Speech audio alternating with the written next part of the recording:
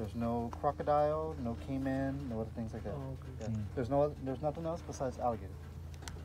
But sometimes uh, when the water level gets high from all the hurricanes and all the rain, sometimes we'll get uh, thrown in animals that come from the south, like like fish. You know, we get the saltwater fish that move upstream, and also we get crocodile that come from the south.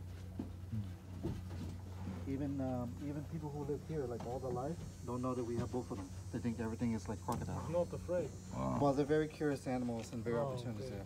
Trust me, don't stick your hands in the water. Um, what they normally eat, or the number one diet,